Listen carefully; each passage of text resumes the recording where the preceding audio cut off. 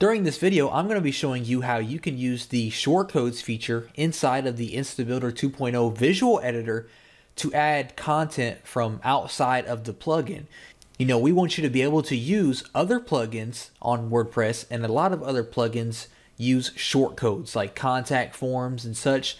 They give you a shortcode that you can use to implement on your WordPress website. So I want to show you how you can use that feature on your web pages. So for this example, here I am on the dashboard. I am going to be using a plugin that is called CTA Pro. So I'm going to click on it over here.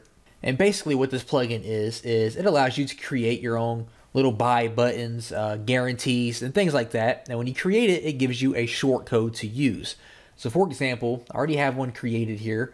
I'm going to go to edit so we can see what it looks like.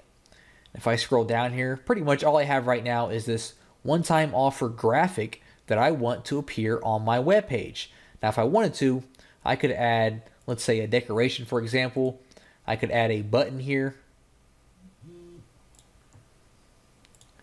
We choose that and drag that here. And then maybe I could add some text to this button real fast. Maybe I have something like that, okay? So what I do, I'm going to here, I'm going to save my little design I have, and they are going to give me a short code. As we can see here, this is my short code. So I'm going to copy that, and this works for any plugin that gives you a shortcode. It doesn't have to be this plugin. I'm going to go back to my InstaBuilder dashboard here. I am going to go to one of my pages here that I have created. I'm going to click on edit and bring this up here.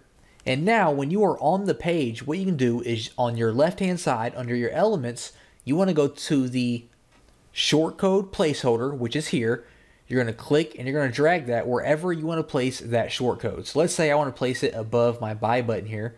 I put it there and you're going to see that it says insert shortcode here. I'm going to click on that. I'm going to click on the little gear symbol here.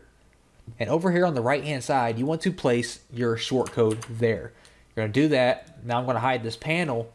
And although I don't see it in the preview here, I am going to save this and we're going to go to preview so we can see what that looks like on our sales page. All right, once that loads up there, you can see it kind of pops up there using our short code. Now, obviously, I would edit this and make this look a little bit better for our sales page here, but I just want to show you that you can use any short code. Off the top of my head, I know the CTA plugin I'm using here uses short codes. The Contact Form 7 plugin uses short codes, so you could easily insert a contact form on your website using the short code from Contact Form. And all you have to do is drag the shortcode element to wherever you want that shortcode to appear at, click on the gear symbol, and then paste your shortcode, and that's all you have to do.